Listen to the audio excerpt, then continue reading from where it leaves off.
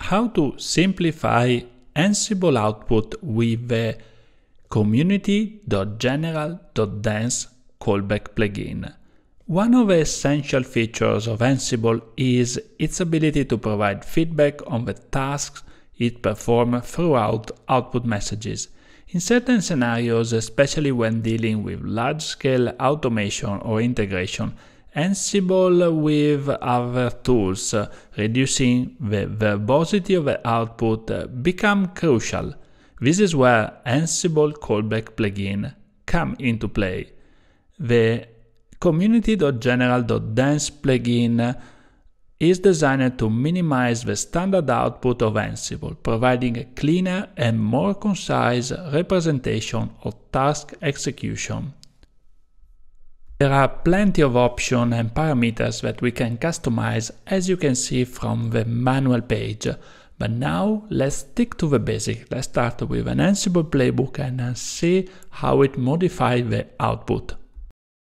Welcome to my editor. The most easy playbook that I could think about is using the ping module to actually test the connection.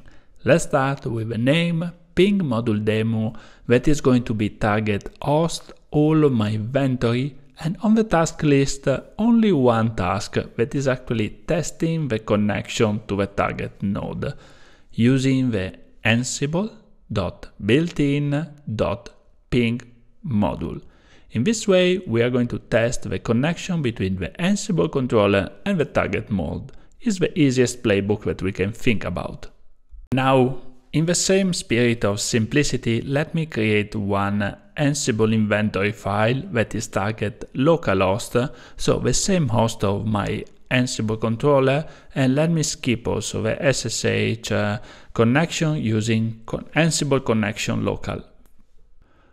Welcome to my terminal. I would like to demonstrate the normal behavior of the Ansible playbook command using this Ansible playbook. When we execute the code, we actually get all these messages on the screen that specify the play name, the task name, and the play recap.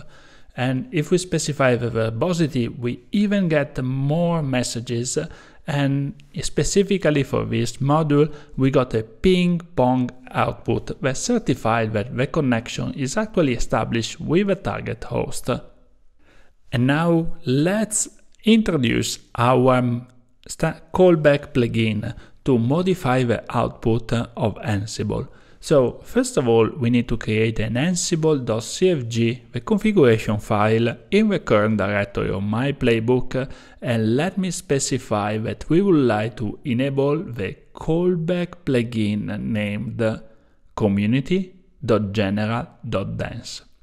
Okay, and there is one restriction that Ansible allow only one standard out plugin per time. So let me specify that the standard out underscore callback is community.general.dense. In this way, we enable the callback plugin and we define to be the, the plugin that we would like to the standard output. In how this plugin is modifying the output? Well, the best way is actually executing my playbook in the console. First of all, let's verify that the plugin is actually enabled using ansible config dump dash dash only changed and we can see that the plugin is listed in both enabled and standard output. Now let's execute again our playbook and as you can see the standard output is very compact and we got only the play name ping module demo. Uh, we got the result of a playbook as standard Unix messages and as you can see if we play again we got the same result. Uh, what happened if we specify the verbose mode? Well, in this way, let's add a dash v in the end and we got a slightly more verbose message uh, that we can get also the summary by the end of execution. In conclusion, Ansible callback plugins such as community.general.dense offer a flexible way to tailor the output of Ansible to suit different needs.